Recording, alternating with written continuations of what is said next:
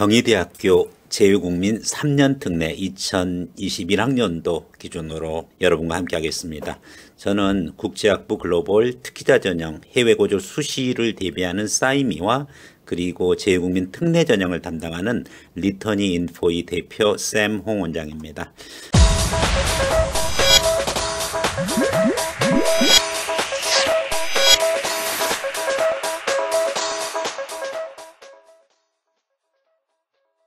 오늘은 여러분과 함께 경희대를 중심으로 해가지고 집중적으로 알아봐야 되는데 리터니 인포를 통해 가지고 들어오는 귀국자 학생들과 그리고 또 귀국자 학생들 중에서 제외국민 특례가 되지만 또 수시 또 해외 거주를 수시 준비를 하는 학생들이 오버랩되는 현상이 있습니다. 어느 대학은 특례로 지원하고 어느 대학은 수시 해외 거주로 이제 지원하는 그 대학의 형태마다 좀 달라지는데 오늘 여러분에게 소개할 경희대학교도 역시 예를 들어서 특정 한 학과를 지원할 때 국제학부를 지원할 때 여러분들이 재외국민 3년 특례 대상 오늘 여러분에게 소개할 이 전형으로 지원해도 되고 해외 고졸 기준으로 네오르네상스 전형이 있습니다. 네오르네상스는 국내 고 학생들 위주였는데 뭐 상당히 오랜 기간 해외 고졸 학생도 모집을 해왔고 그리고 많은 학생들을 합격시킨 바가 있습니다. 그래서 어, 특례가 불리하면은 해외 고졸 수시 기준으로 해서 준비하시면 되고 또 어학 능력이 있다라고 하면은 해외고졸 수시에 네오르네상스 전형 말고 그리고 별도로 네, 그 어, 티키타 전형이 있습니다. 그래서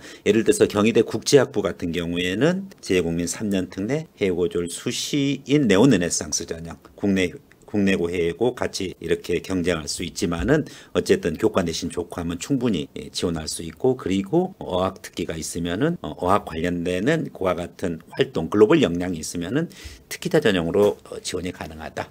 다른 대부분의 학과 같은 경우에는 네오 르네상스 이 수시로 해외 거주 학생이 지원 가능하고 그리고 네 3년 특례 기준으로 또 지원 가능하다. 그래서 여러분들이 지금 본 영상은 경희대 3년 특례 재국민 전형을 소개하는 그와 같은 영상이긴 한데 여러분들이 꼭 이 3년 특례만 네, 자기 자신의 것이라고 생각하지 말고 교과 내신 성적이 좋고 스펙이 어느 정도 있으면은 과감하게 네오르네상스 전형도 함께 여러분들이 확인해 보시기 바라겠습니다. 네오르네상스 전형 관련해 가지고서는 별도의 영상으로 말씀드리고 오늘은 순수하게 재외국민 3년 특례 기준으로 해 가지고서 리터니 인포 중심으로 여러분들에게 말씀을 드리도록 하겠습니다.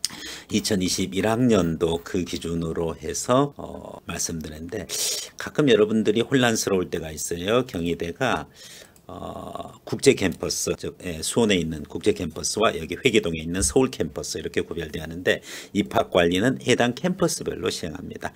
혹시 면접 있을 때 여러분들이 혼란스러움이 없어야 되겠습니다. 국제 캠퍼스에서 면접을 해야 되면 국제 캠퍼스에서 해야 됩니다. 반드시 서울 캠퍼스에서 통합해 가지고서 입시 관리하는 게 아니다. 이 점 유의해 주고요. 모집 단위가 학부인 경우에는 학과 배정은 대학 학교 내부로 정한다. 이제 또 대학 들어가서 이제 학과를 정할 수가 있는 부분이죠. 그리고 또 여기서 여러분들 지금 재외국민 3년 특례 부모 자격을 중심으로 한 이 전형을 하고 있는데 정교육과정 해외 이수 부분 거랑 혼동하는 학생이 있습니다.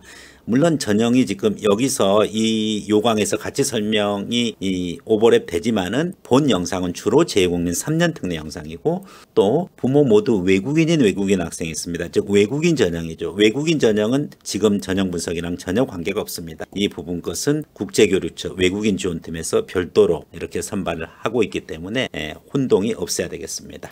네, 서울 캠퍼스 관련해 가지고서 여러분들 모집 인원 확인해 드리겠습니다.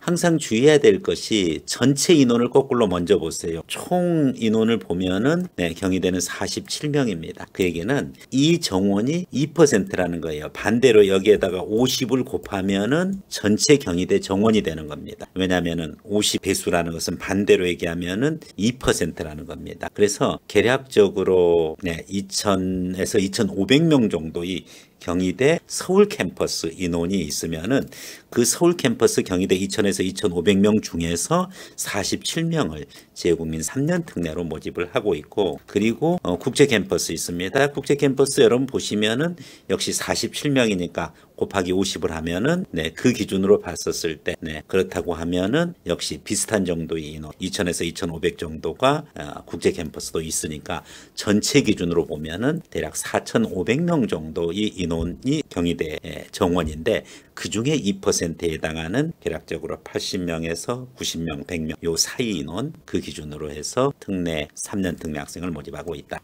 그렇게 보시면 되고 따라서 여러분들이 항상 정원 47명 이기 때문에 정원 내에서 경쟁하는 겁니다. 어렵습니다. 그래서 3특으로 대학을 합격한다는 것이 예, 여기서 예, 외국에서 전교육과정 이수자 흔히 얘기하는 12년 특례라는 부분 것은 정원 외로 모집하니까 관계가 없는데 오늘은 재외국민 3년 특례 입시를 분석을 하고 있습니다.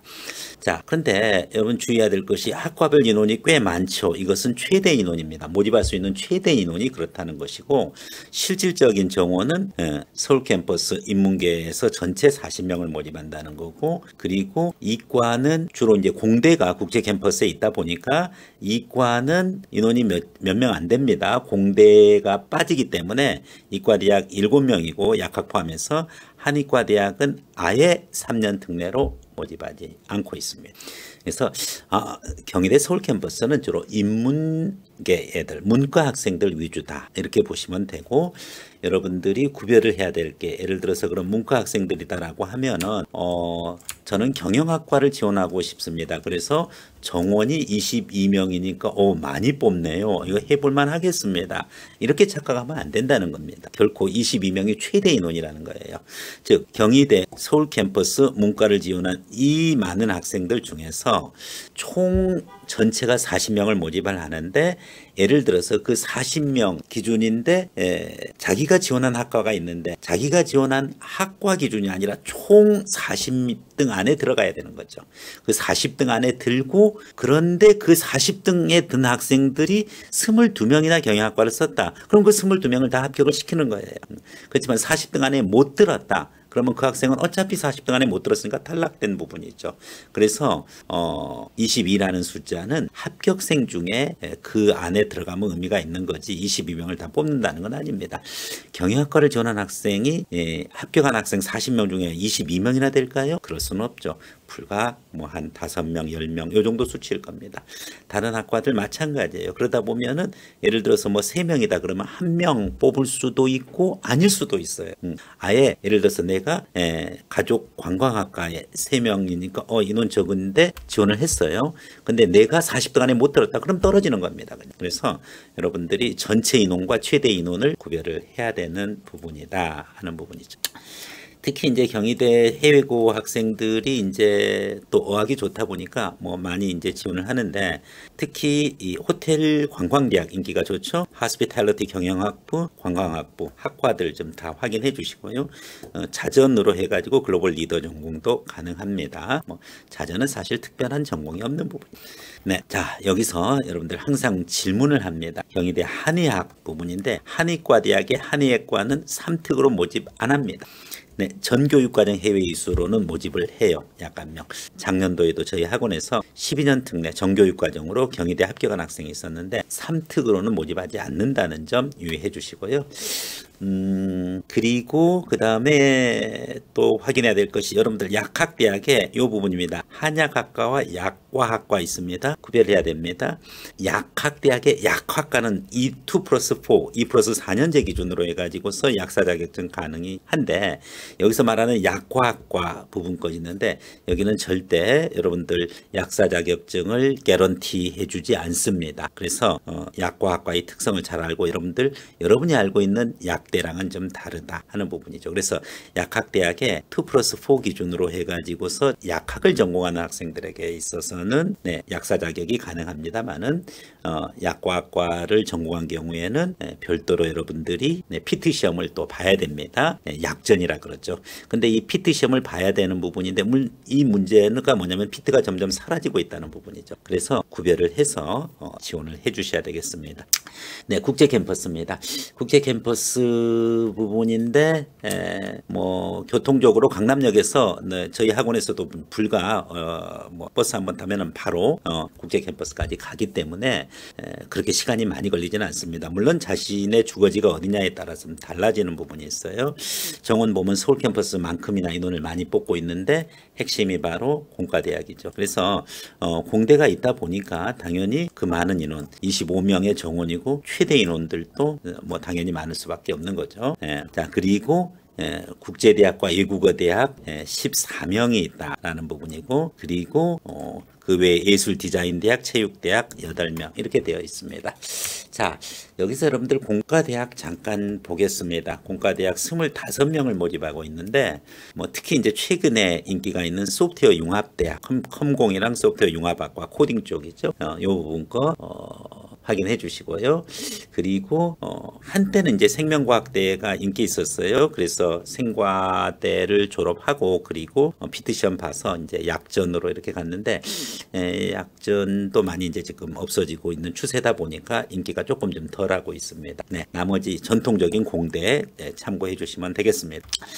어, 특히 이제 해외고 학생들이 특례 자격이 있는 학생들도 있고 특례 자격이 없이 본인만 해외에서 있거나 부모님이랑 같이 나갔다고 해도 재국민 자격으로 나간 것이 아니라 어, 학생 유학으로 나갔던 학생들은 귀국해서 재국민 3년 특례 자격이 안 돼서 많이 당황해 하는데 그럴 필요가 없습니다. 왜냐하면은 어차피 삼특으로 가는 학생들이 있는가 하면은 여러분들은 경희대는 특히 지금 외국어 대학 국제대학 있는데 국제대학의 국제학과 같은 경우에는 전체 외국어 대학 국제대학 14명 중에서 최대 12명인데 어, 인원이 적어요. 12명이 다 뽑힐 수도 없죠. 이제 다른 과도 물론 있기 때문에. 근데 주로 물론 국제학과 학생들이 많이 지원하고 그쪽에 학생들이 몰리는 현상은 있어요.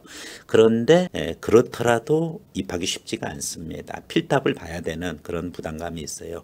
그래서 여기보다는 음, 재국민 특례 자격이 안 되는 학생은 걱정할 거 없이 네오르네상스 전형 내신이 좋으면 해외 고졸 내신이 좋으면 네오르네상스 전형 국제학부를 녹화하면 되고 아니면은 특기자 전형 전형도 있습니다. 그래서 어, 수시 특기자 전형으로 해외 고졸 기준으로 지원을 하면 되기 때문에 크게 지장이 없고 여기서는 3년 특례 중에서 경희대의 전형 요소에 타당한 학생들은 네, 국제대학과 외국어대학 노릴 수 있습니다. 그 외에 이제 예술 디자인 대학, 체육 대학 어, 참고로 하시면 되겠어요. 음, 여기서 좀 독특한 부분이 이제 국제학 과가 있고 글로벌 한국학이라는 것이 있죠. 근데 글로벌 한국학은 3년 특례로 안 뽑습니다. 국제학과만 뽑습니다. 음, 글로벌 한국학과는 원래 서강대에서 처음 시작했던 그런 학과예요. 그래서 어, 예, Korean Education to the Foreigners 외국인들을 위한 한국어 교육 이런 부분들과 한국 문화 또 한류 관련해 가지고 글로벌 한국학 부분인데 예, 특례에서는 뽑지 않고 있습니다. 이 점 유의해서 여러분들 지원을 해주고 음, 그 외에 이제 다른 외국어 전형 부분 거 있고 글컴이라고 있습니다. 글로벌 커뮤니케이션 예, 역시 참고해 주시면 되겠습니다. 예, 전형 일정은 2021학년도는 변화가 심합니다. 어, 7월 초에 원서 접수하는 것이 7월 20일 돼야지 접수하고 뭐 관련되는 부분 것에 필답도 무려 8월 8일 날 봅니다. 면 면접은 해당 안 됩니다. 면접은 삼특이 아니기 때문에요. 네, 그리고 합격자 발표도 9월 초야 초 되어서야 어, 이루어지기 때문에 2021년 기준으로는 코로나 크라이시스로 많이 지연되었다는 사실 아시고요. 뭐 지원 자격 관련해 가지고서 음, 여러분들이 공통적인 자격 요건 부분 거 어, 확인하면은 크게 지장이 없습니다. 그래서 어, 해외 근무자 기준으로 해서 어, 통산 3년 1095일이죠. 어, 이상의 해외 근무 사업 영업을 목적으로 배우자 및 학생과 함께 해외에 체류한 자. 왜 이제 해외 근무자예요. 일단 이 조건이 맞아야 됩니다. 그렇게 하면은 그리고 나서 해외 근무자의 자녀인데 그 자녀 즉 역시 마찬가지입니다. 1095일 이상의 부모님이 근무하고 있는 기간 동안에 학생이 예, 고등학교 1년 이상을 포함해 가지고서 중고교 통산 뭐 연속이든 비연속이든 관계없이 3개년 이상 수료한 자 이와 같은 부분이 바로 자녀 조건이고요. 그 다음에 재학 기간 기준이죠. 그 재학 기간이 학기 개시일로부터 어, 국가 소재 에 재학하였을 경우 근무지 국가 소재에 재학하였을 경우가 있고 학생이 중간에 편입해서 학기 개시일로 재학하지 못하는 경우 있습니다.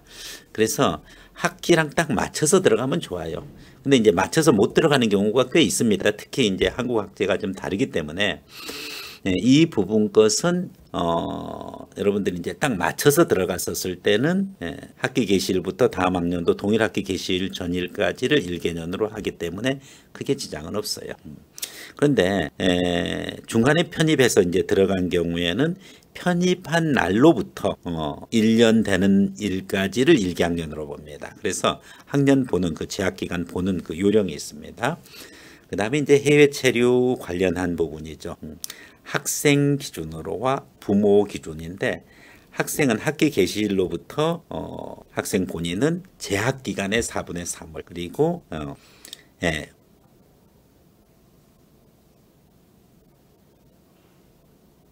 이 재학 기간의 4분의 3은 학기 개시일 요 부분으로 했었을 때 그렇고 중간에 편입해서 한 경우에는 네, 역시 예, 학기 개시일로 재학하지 못했던 경우에는 그 기산 시점이 좀 다르죠. 어, 어쩌나 저쩌나 4분의 3은 같이 적용됩니다. 계산하는 그 시기가 다를 뿐이죠. 그리고 네, 부모와 그 배우자는 3분의 2 이상을 기본적인 부분이 이제 다 동일합니다. 그래서 여러분들 특히 이제 부모님의 그 해외 근무자 이 조건이라든지 또 해외 근무자 근무 기간을 이제 계산하는 거 그리고 근무자의 자녀 관련해 가지고서 기산점 음, 계산하는 거. 네. 그리고 재학 기간 기준으로 해서 학생은 4분의 3 이상을 그 나라에 체류해야 되고 부모는 3분의 2 이상을 체류해야 된다 하는 부분 것에 이 조건을 잘 맞춰 주셔야 되겠습니다. 네.